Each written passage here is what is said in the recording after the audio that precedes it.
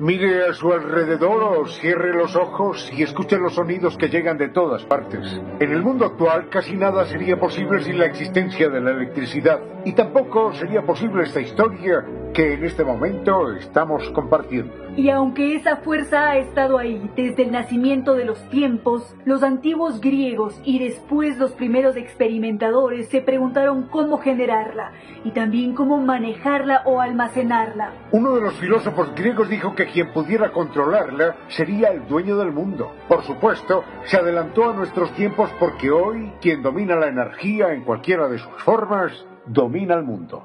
Y uno de los primeros personajes que se propuso el sueño de almacenar y controlar aquella fuerza invisible fue un niño pobre que empezó como simple mensajero y ayudante de encuadernador. Y además estaba dotado de una gran curiosidad.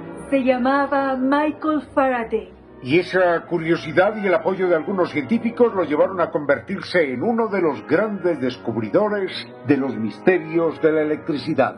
En una época en la cual todo era oscurantismo, Faraday decidió iluminar la mente de sus contemporáneos con sus experimentos sobre aquella fuerza. En aquel entonces, Faraday organizó una exhibición en una feria popular con algunos alambres y pilas fabricadas por él, logró producir chispas y generó movimiento en una pieza metálica. Un reconocido político se acercó hasta Faraday y le preguntó para qué podía servir esa cosa inútil llamada electricidad. Entonces Faraday le contestó, Yo tampoco lo sé todavía, pero le aseguro que dentro de 10 años usted estará cobrando impuestos a la gente que lo use.